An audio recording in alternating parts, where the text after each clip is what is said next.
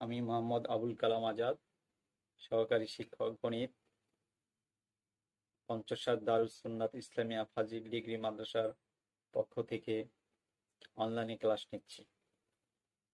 আমি শুভেচ্ছা জানাচ্ছি আমার প্রিয় শিক্ষার্থী বিন্দুদেরকে তোমরা আশা করি আজ আমার অনলাইন ক্লাস দেখবে, মন্তব্য করবে প্রিয় শিক্ষার্থীবৃন্দ। আজ আমি অনলাইন থেকে অনলাইনের মাধ্যমে ক্লাস নিচ্ছি, তাই তোমাদেরকে জানাচ্ছি শুভেচ্ছা, অভিনন্দন। প্রিয় শিক্ষার্থীবৃন্দ, তোমরা যারা অষ্টম শ্রেণীতে অধ্যয়নরত আছো, তোমাদের আসন্ন টেস্ট এবং জেএসসি জেডিসি পরীক্ষায় তোমরা অংশগ্রহণ করতে যাচ্ছ। আমি গণিত শিক্ষক হিসাবে তোমাদের গণিত বিষয়ে কিছু দিক নির্দেশনা প্রস্তুতিমূলক তোমাদের দিক নির্দেশনা দেব যা তোমাদের পরবর্তীতে নির্বাচনী পরীক্ষা এবং জেএসসি জেডিসি ফাইনাল পরীক্ষা তোমাদের যাতে তোমরা সফল হও গণিত বিষয়ে সেভাবে প্রস্তুতি নিবে।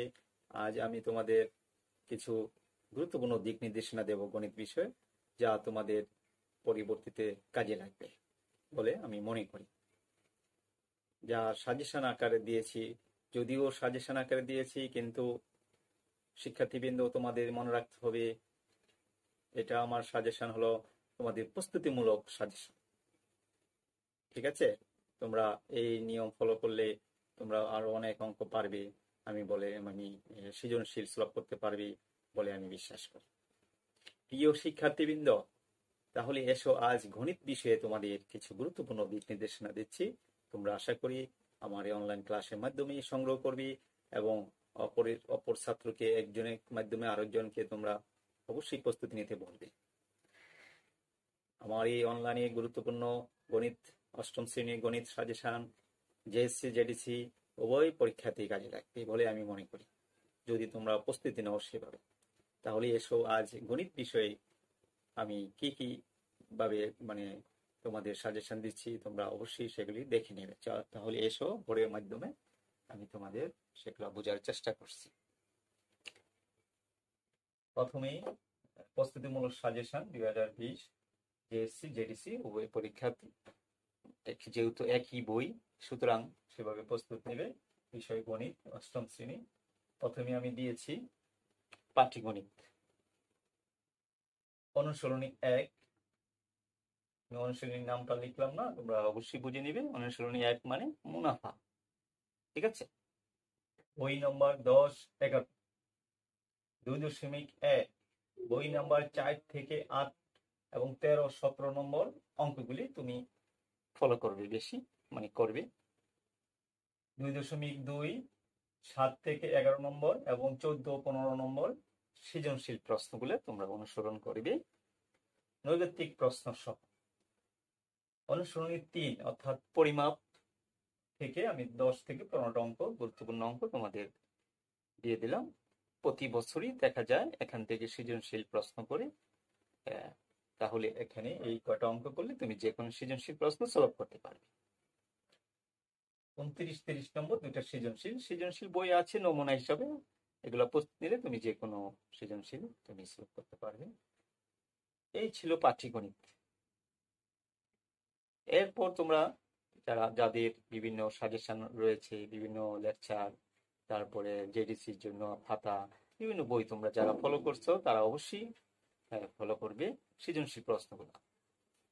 এরপর আসি বীজ গণিত অনুশীলনী চার দশমিক এক, পাঁচ থেকে বারো নম্বর অঙ্ক পর্যন্ত। আমি তোমাদের জন্য গুরুত্বপূর্ণ ধরেছি। ঠিক আছে? এগুলি পারলে তুমি যে কোনো অঙ্ক তুমি সলভ করতে পারবে। এরপর চার দশমিক দুই, আট থেকে চোদ্দ নম্বর। চার দশমিক চার, উনত্রিশ, তিরিশ, একত্রিশ নম্বর অঙ্ক। আমি তোমাদের বইয়ের অঙ্কগুলা গুরুত্ব বেশি দিয়েছি। ঠিক আছে? পাঁচ দশমিক দুই, এখানে সতেরো থেকে বিশ নম্বর অঙ্কগুলি তুমি করতে পারো। যাতে যে কোনো অঙ্ক তুমি আসে, তুমি সেভাবে তৈরি করতে পারবে।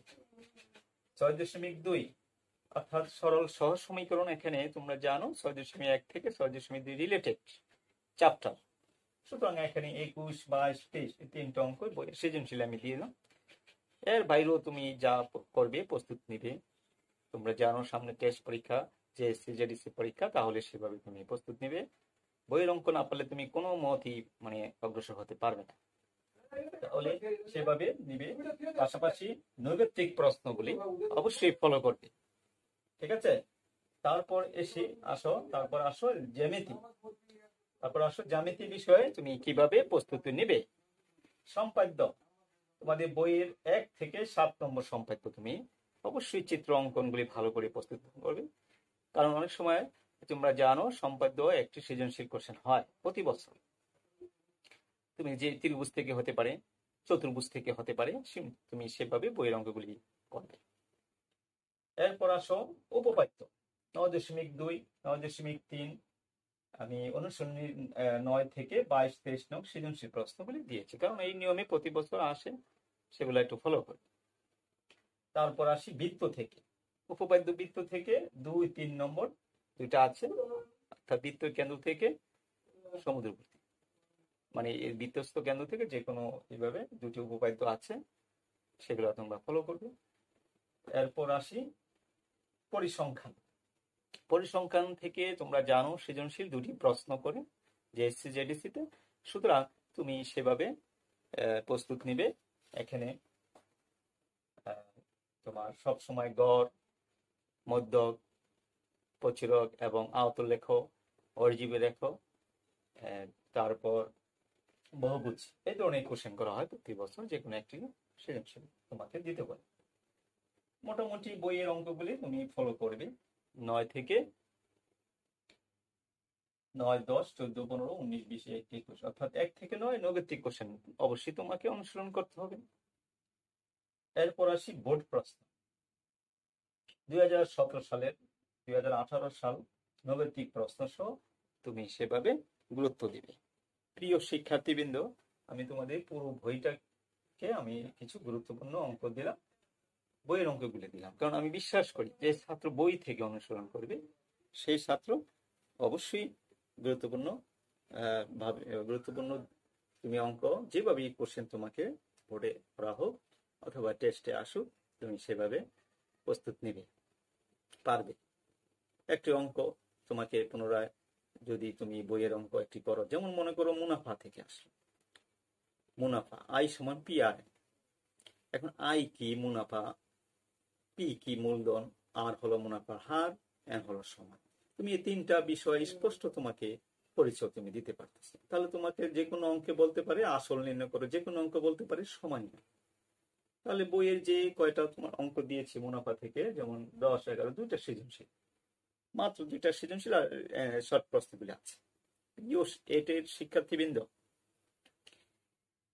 আমি আবারও বলছি, তুমি প্রতিটি অধ্যায়ের সূত্র আলোচনা করো। সূত্রগুলি অবশ্যই তোমাকে পাঠ্য সূত্র না জানলে তুমি যে চাপটা তুমি অঙ্ক করছ গাইড ফলো করতেছো, বিভিন্ন গাইড ফলো করতেছো, কিন্তু তুমি সূত্র জানো না, তাহলে তোমাকে প্রস্তুতি ভালো হবে না। প্রিয় শিক্ষার্থীবৃন্দ, তোমাকে অবশ্যই এই সূত্রগুলো তোমাকে ফলো করতে হবে। সূত্র জানলেই তুমি যে কোনো অঙ্ক তুমি পারবে ঠিক আছে? তারপর আসি জ্যামিতি। জ্যামিতি যদি তুমি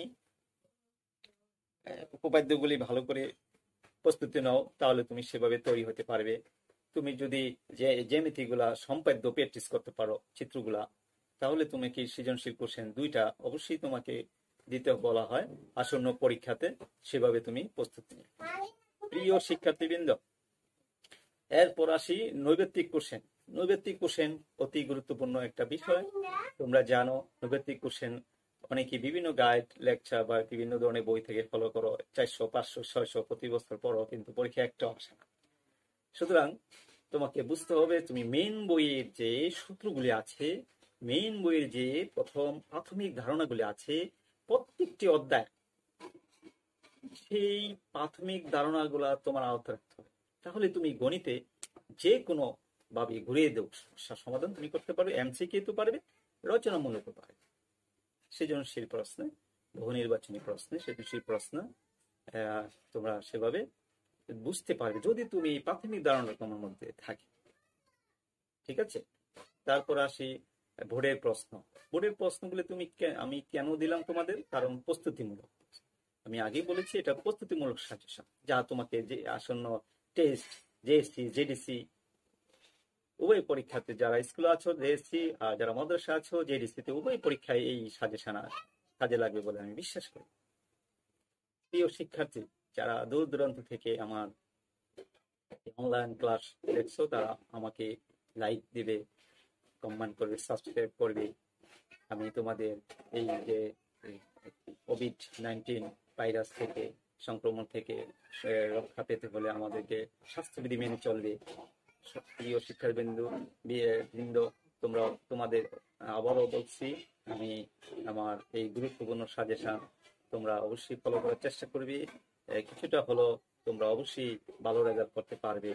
আমার এই গুরুত্বপূর্ণ সাজেশন ফলো যদি করো, তোমরা সেভাবে তৈরি করে গণিত সমস্যার সমাধান করো। এই অধ্যায়, প্রত্যেকটি অধ্যায় থেকে এইভাবে তুমি অনুশীলন করবে, প্রত্যেকটি অঙ্ক তোমাকে ফলো করলে তুমি যে কোনো সৃজনশীল পরীক্ষায় ঘুরিয়ে দেও। আশাবাদী তুমি সেভাবে পাবে প্রিয় শিক্ষার্থীবৃন্দ, আমি আবারও তোমাদের গুরুত্বপূর্ণ একটি টিপস দিয়ে আমি আমার অনলাইন ক্লাস এখানেই সমাপ্তি ঘোষণা করব। তোমরা বেশি করে অঙ্কগুলি কষবে, তোমরা বেশি করে রাব করবে, বেশি করে সৃজনশীল প্রশ্নগুলি বেশি করে তোমরা অনুশীলন করবে। একটি অঙ্ক মাধ্যমে তুমি ঘুরিয়ে অঙ্ক তোমাকে শিখতে হবে।